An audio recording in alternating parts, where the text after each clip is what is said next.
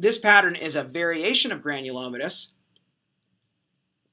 called palisaded necrobiotic granulomatous pattern. And there's a, a handful of diseases in here this is one of them. This case has these palisades or kind of wall of, of um, uh, histiocytes around a central zone that's not really necrosis like in, in a mycobacterial infection, like, not like that kind of necrosis, not, uh, but it's actually degeneration of collagen, often with some bluish myxoid um, or mucin change in the middle. So when we see this, this is a classic example of granuloma annulare um, which is a kind of a derm disease, but that you might encounter in regular surge path because occasionally these can occur down in the subcutis, particularly like on the legs of kids, and then they look like a mass clinically and they'll get sampled to make sure they're not, you know, some sort of soft tissue tumor. So it's important to recognize this, this very distinct pattern. Um, and usually, in my experience, if it looks like this, it's very rare for it to be an infectious process, although I've seen rare, rare exceptions. Um, so there's a list of things that can have that palisaded necrobiotic pattern.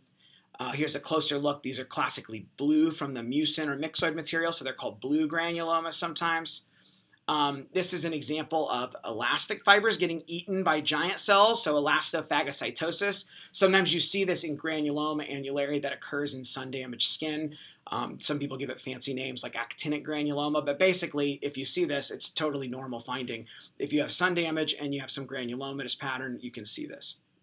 Here's another example of how blue um, the granuloma annulare can look. Now, this is a red palisaded necrobiotic granuloma because there's a bunch of fibrin in the middle. If there's a bunch of fibrin, these tend to be rheumatoid nodule. So rheumatoid nodule, though, and granuloma annulare can closely mimic one another sometimes. And if I have any doubt, I just call it palisaded necrobiotic granuloma and say the differential includes rheumatoid nodule and granuloma annulare, and then clinically they can check does the patient have rheumatoid arthritis or or um, or is this you know a kid and it's a solitary lesion and then it's probably not a rheumatoid nodule.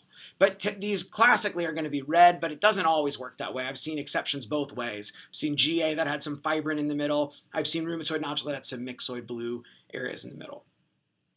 Now here's another one where you've got palisading around a necrotic or necrobiotic center, but Ooh, when you look closer, that looks pretty nasty.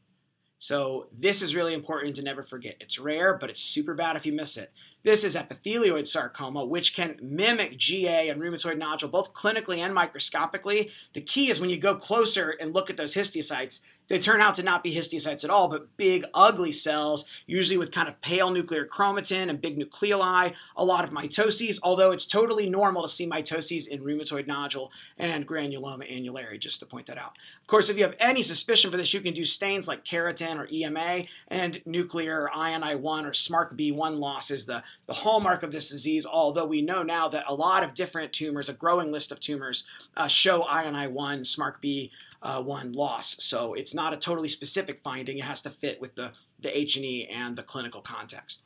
But this is a really uh, terrible form of sarcoma that you don't want to miss. Um, this is a, a, a, layered kind of necrobiotic uh, pattern that you see on the lower legs, uh, sometimes in diabetic patients, called necrobiosis lipoidica. Some people say it has kind of a layered cake arrangement and you'll see histiocytes and lymphocytes and plasma cells with the kind of more fibrotic, fibrotic and necrobiotic looking um, areas. And sometimes if you see uh, that pattern like NLD, but with cholesterol clefts and giant cells, you can think of necrobiotic xanthogranuloma, which is pretty rare, but it's important to recognize because it's often associated with a paraprotein and um, a systemic um, uh, hematolymphoid neoplasms.